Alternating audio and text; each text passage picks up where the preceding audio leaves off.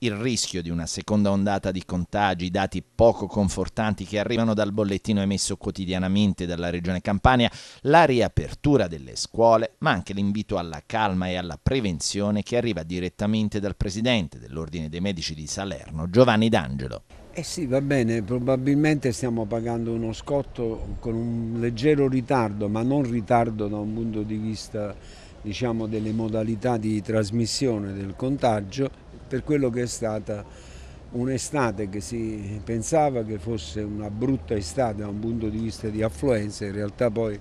è stata un'estate con molti turisti, anche se sono turisti interni per la maggior parte, cioè persone della stessa regione, ma si sono mossi molto, soprattutto verso il sud, ma anche verso la costiera.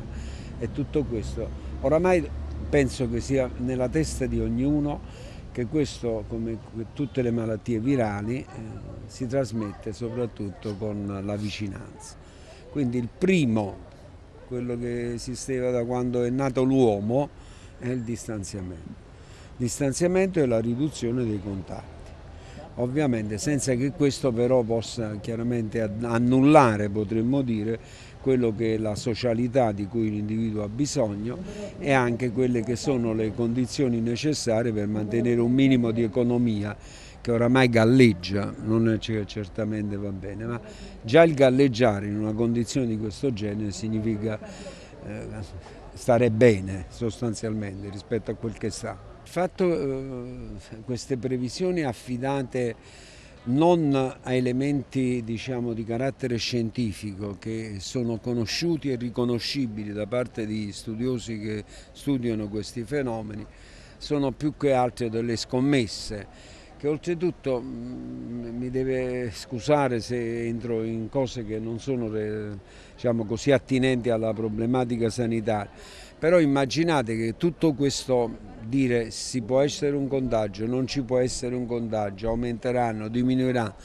È come la, quando guardate il mondo dell'economia, no? le linee di innalzo della borsa, ribasso della borsa, stagnazione della borsa, cioè tutto questo segue questo flusso di notizie e secondo me questo è la ragione per cui molte volte compaiono, perché chiaramente ogni notizia comporta un riflesso di natura economica. No? L'OMS però l'altro ieri è stata perentoria sul rischio di una seconda ondata. Ma, eh,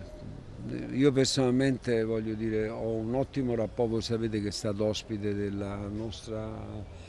del nostro ordine proprio il uh, vicepresidente dell'OMS Guerra e quindi figuriamoci se non ho piena fiducia e piena diciamo, considerazione di quello che l'OMS, anche perché è sua funzione dare questo messaggio. Però la, tanta sicurezza in un'ondata non ce la vedo, io vedo più che altro un qualcosa che si sta raggiungendo un livello di endemizzazione lentamente, che non è ancora tale perché sarebbe un vantaggio questo e purtroppo vediamo che la possibilità che si sia l'impennata è legata solo ai nostri atteggiamenti.